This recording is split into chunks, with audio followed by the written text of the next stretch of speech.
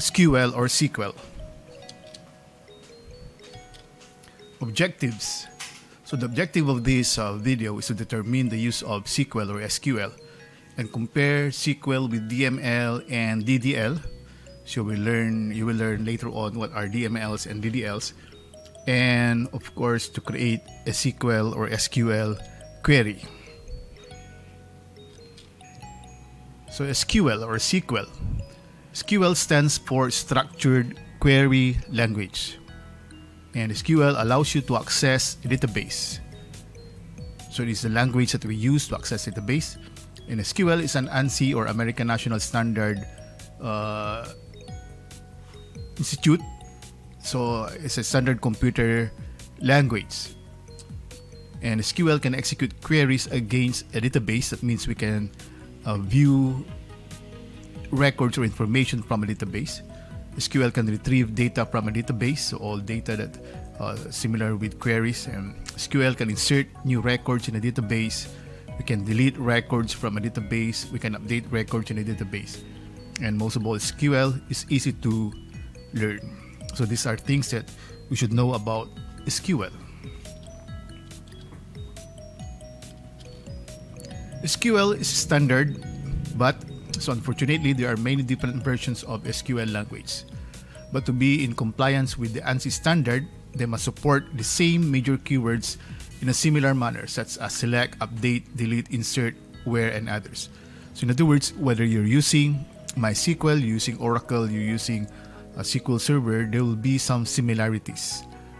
Maybe around 60 to 80% will be similar. SQL tables.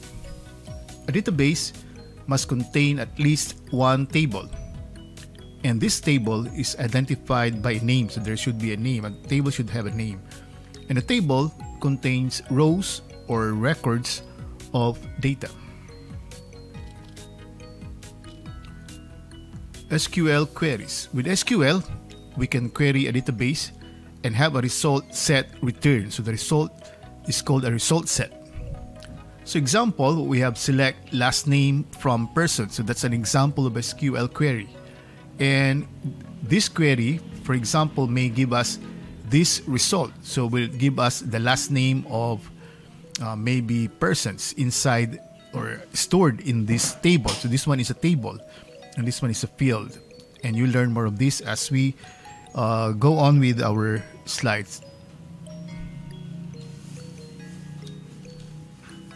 Now, we also have what we call the DML or the data manipulation language. So the DML is composed of the select statement, uh, which, have, which we have uh, seen a while ago, which actually extracts data from a database table. And then we also have the update. That's why it's called data manipulation language. We have the update. So updates data in a database table. So from the word update.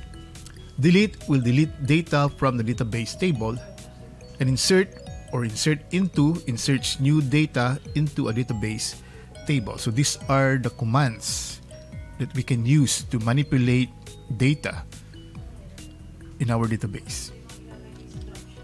We also have uh, what we call the DDL or the data definition language. So it is where we use to define the data to be used by the database. And here are some important DDLs. These are create table, so basing from the command itself, this is used to create a new database table. We have alter table, so alters or changes a database table. So if there are things you would like to change in your table, let's say for example, you would like to add a column, you would like to change the data type of a column, then uh, you have to make use of alter table. Drop table deletes the database table. Let's say you are not going to use this table anymore, then you can drop a table we can also use create index. So it creates an index. Uh, the index is usually our search key. And we can also drop or delete an index. So drop index is the command to delete an index. So these are examples of DDLs. Now let's proceed to the SQL select statement. The select statement is used to select data from a table. And the tabular result, so the result is in tabular form, is stored in a result table or it is called the result set. So it, it is also uh, in the form of table inside the memory of your computer. So the format or the syntax for the select statement is select. So this is the keyword. So we always have the word select followed by the following. It can be asterisk or it can be the names of the fields or it can be expressions. And then after that, we have from and then the name of the table. So if we're going to look at these examples, we have select asterisk. So we can use asterisk from persons. So the asterisk is actually used or means that we're going to show all fields inside this table. So from table, so persons here is the name of the table, asterisk will be the fields. In the next example, we have select. So your last name, comma, first name. So these are fields. These are examples of fields. Then from, then persons is again the name of the table. So we should always have the select and the from clause. And then we have here, so this will be changed depending on what you would like to uh, have in your result set. And this will always change depending on the name of the table. So let's try this one in an actual database. Uh, first, sorry. First, I will be uh, I will be opening or I will be starting my MySQL database. So I have here XAMPP XApp actually contains the Apache, which is a web server, and MySQL, which is a database server. So I can open MySQL. So that means it is already open, and this is the port that MySQL is using. So if it is already open, I can now connect to the database. Now I'm going to use an application called MySQL command line. But before I'll do that, I'll first uh, open a command window or command prompt window. So by typing cmd enter key, this will open a command window. Now, if you install XAMPP, usually uh, the MySQL command line client is stored in the bin folder. So I'll first change to the root directory. That's the root directory of Drive C cd xampp. I'm going to uh, go to the, the xampp directory, then cd mysql. I am now on the mysql directory, and inside the mysql directory, I have here my bin or binary directory. This is where I can I have my MySQL command line client, and the command for that is MySQL. Now, I'm going to specify the user. So in this case, uh, I have the user root. So this is just a the database I use for developing. So I don't have any password for this. But of course, in the actual uh, setup, most probably you have a username and a password. But in my case, I have only I don't have a password, so I'm going to specify only the user. So once I press Enter key, I am now inside the command line, MySQL command line client. So this is now my MySQL prompt. Now let's say I would like to know what are the database databases that I can have access to. So I can type show databases. So these are the databases that are stored or that can be accessed by my MySQL command line client.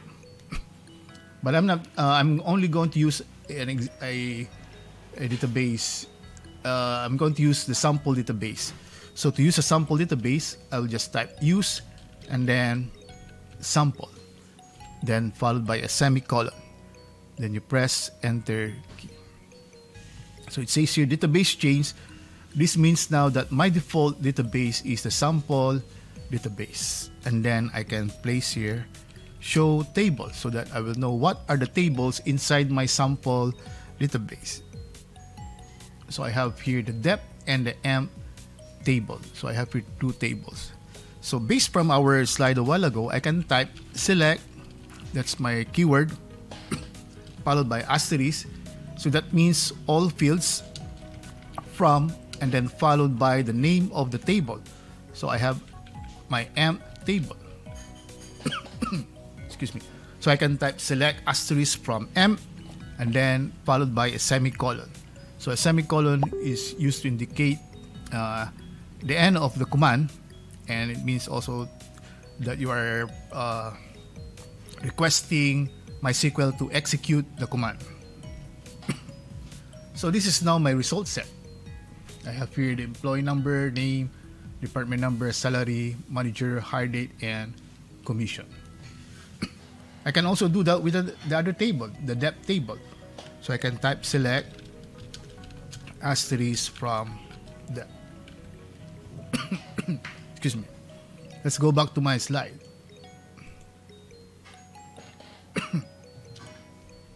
uh, no, let's let's have an example of this one first, wherein we can choose the name of the table. So let's go back to my MySQL command prompt.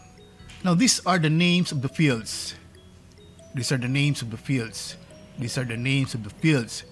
Now you can also use describe, the command describe, and then the table name to view what are the fields in a particular table. So if I type describe m, notice here I have here my field names and their data types and other information. So if I type describe dep, this will also display the fields in this table. So this is a handy uh, command that we can use to display the field names of a particular table. So let's say I would like to show the name of the employee, the salary of the employee, and the commission of the employee. So we have here employee name, salary, and commission. And then from, and then the name of the table, from M. Then once I press enter key, so you notice it will only display these columns that I actually specified. So you have the name, salary, and commission. Okay, let's go back to my slide. Next, we have the distinct statement. The distinct keyword is used to return only distinct or different values. So example is, oh, the syntax will be select distinct followed by the column names, then from the table name. So example is select distinct company from orders. So this will display only unique company. Let's try in, it in our actual database. Let's say, for example, I type here select depno from M. So uh, the employees actually belong to several departments or department numbers. So you notice I have here ones, twos, and threes. So of course, it is not yet unique or distinct. So what if I type select distinct depno from M. So this time around, this will only display the unique values, which are actually 1, 2, and 3. So that's the purpose of the distinct keyword. Let's proceed. Now we have the order by clause. The order by keyword is used to sort the result. So for example, we have select uh, select from so the same. And then after this we have ordered by the field either in ascending or descending order. By default it is in ascending order. So example you have select company order number from orders ordered by company.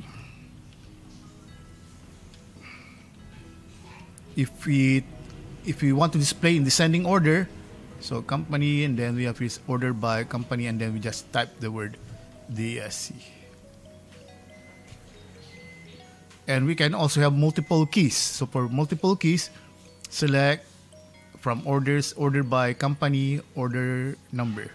So it should be uh, sorted by company, then by order number. Okay, so let's try this. So let's say I have here select asterisk from M. That's my output. So what happens if I type select asterisk from M, order by e-name? You notice now that my result set is sorted according to name. So it is now alphabetically arranged. So I can also type select asterisk from M order by salary. So this will display the records sorted by salary from lowest to highest. So what if I want it I want it to be displayed by salary but in descending order. So I'll just use the uh, DS, DSC uh, keyword. So this time around it is from highest to lowest. I can also have uh, multiple keys. Select asterisk or let's say select depno e-name salary kong from M so this time order by depno then by e-name. So I have multiple keys. So what will be the result? So first all of those the depart uh, my main key here is department number. So you notice the department number is sorted from one lowest to highest one two three. And for each department so if you're going to view this the name should be arranged in alphabetical order. So if you're going to view those from department 1 the names are arranged in alphabetical order for department 2 again in alphabetical order for department 3 also in alphabetical order so that is the use of multiple keys.